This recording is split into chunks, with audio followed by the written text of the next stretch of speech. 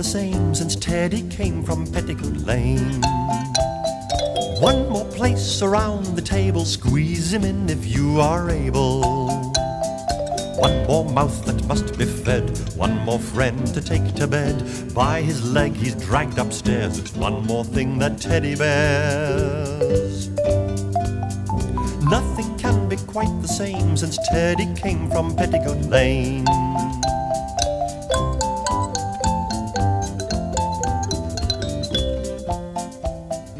Funny thing about our Teddy, when it's lunch he's always ready. I suppose it doesn't matter, but our Teddy's getting fatter.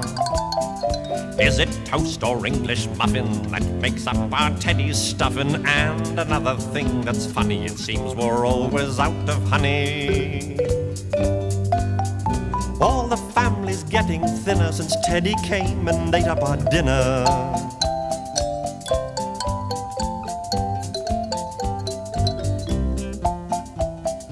Every time I look at Teddy, he is sitting there perfectly steady.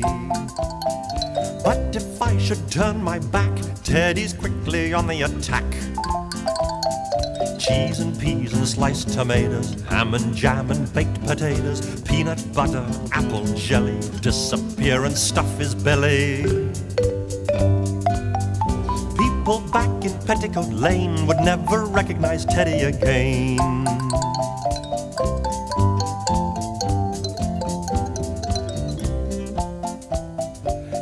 Now lives in the zoo. It seemed the only thing we could do.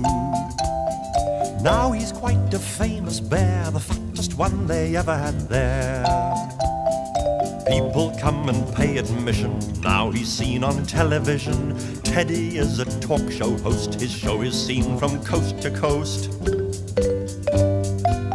I'm sure you've seen him entertain. He calls his program Petticoat Lane. And now,